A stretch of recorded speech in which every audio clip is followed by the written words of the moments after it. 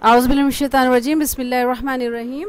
رب اشرح لی صدری وسر لی امری، واحلل عقدۃ من لسانی یفقہوا قولی۔ السلام علیکم ورحمۃ اللہ وبرکاتہ۔ یہ پندرہ باتیں ہم دیکھتے ہیں کہ آپ صلی اللہ علیہ وسلم نے کیا فرمایا اور ان سے ہمیں بچنے کی تاکید کی۔ حضرت سیدنا علی ابن ابی طالب رضی اللہ تعالیٰ سے روایت ہے کہ انہوں نے فرمایا کہ حضرت اکرم صلی اللہ علیہ وسلم جب میری امت پندرہ بری عادتوں کو اپنائے گی تو اس پر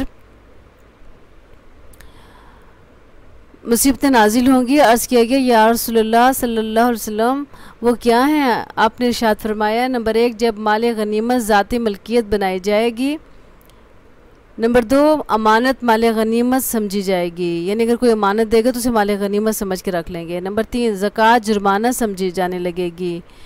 نمبر چار، آدمی اپنی بیوی کی اطاعت کرے گا۔ نمبر پانچ، اپنی ماں کی نافرمانی کرے گا۔ نمبر چھ، اپنے دوست سے حسن سلوک کرے گا۔ نمبر سات، اپنے باپ سے بد سلوکی سے پیش آئے گا۔ یعنی باپ کا کہنا نہیں مانے گا۔ نمبر آٹھ، مساجد میں آوازیں بلند ہوں گی یعنی مسجدوں میں اونچی آواز میں بولا جائے گا، ادب ختم ہو جائے گا۔ مسجد کا ایک مراد یہ ہے۔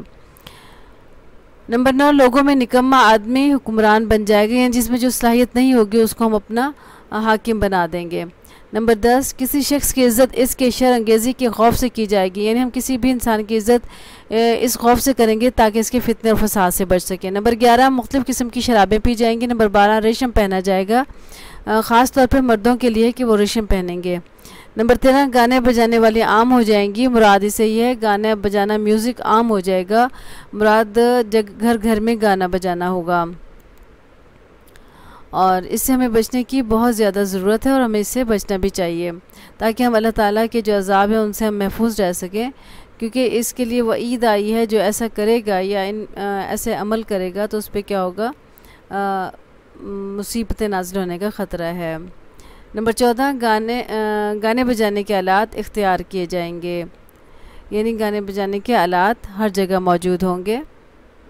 اور اس کے ساتھ ہی جو آخری بات ہے وہ آپ صلی اللہ علیہ وسلم نے ارشاد فرمائی ہے، اس امت کے بعد میں آنے والے لوگ پہلے والے بزرگوں پر لان تان کریں گے تو ایسے وقت لوگوں کو سرخ آندھی یا زمین میں دھسا دیے جانے کا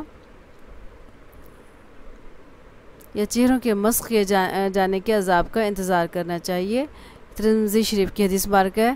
اللہ تعالیٰ ہمیں ان تمام باتوں سے محفوظ رکھے اور ہمیں ان تمام باتوں سے دور رکھے۔ کیونکہ ان ان چیزوں کے ان ان پندرہ باتوں کی وجہ سے کیا وعید آئی ہے کہ عذاب اور مصیبتیں آنے کا خطرہ ہے۔